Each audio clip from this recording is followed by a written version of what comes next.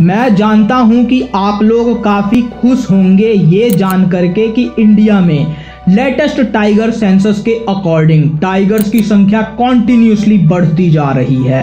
But मैं guarantee से ये बता सकता हूँ कि जो दो मेजर चैलेंजेस हैं हमारे टाइगर रिजर्व्स को, उसके बारे में आपको पता नहीं है। पहला मेजर चैलेंज है फॉरेस्ट लैंड पर टाइगर्स की जितनी कैरिंग कैपेसिटी है हमारे टाइगर रिजर्व्स की।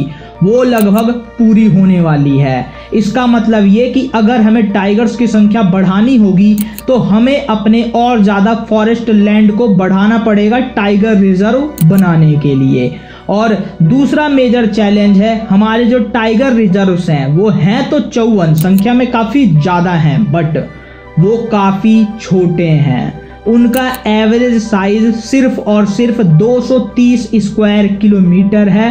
इससे होता यह है कि ज़्यादा टाइगर्स एक जगह नहीं रह पाते, जिससे उनमें आपस में कोई प्रोक्रिएशन होने की जो संभावना होती है, वो ज़्यादा नहीं हो पाती। इससे टाइगर्स में बायोडाइवर्सिटी कम रहती है। जेनेटिक डाइवर्सिटी कम रहती है और इससे उनकी इम्यूनिटी जो होती है वो वीक हो जाती है। और फिर कोई भी बीमारी जो है, उनको आसानी से फैल सकती है, पूरे जंगल में सारे टाइगर्स को वो मार सकती है। तो इस तरीके की अगर कोई डिजास्टर क्रिएट ना हो, इसके लिए हमें उनकी जेनेटिक डाइवर्सिटी को बढ़ाने के लिए भी काम करना होगा। इसके लिए हम ये कर सकते हैं कि जो हमारे देश के अलग अलग चौवन टाइगर रिज़र्व हैं, उनको जोड़ने के लिए प्रॉपर कॉरिडोर्स बनाया जाए।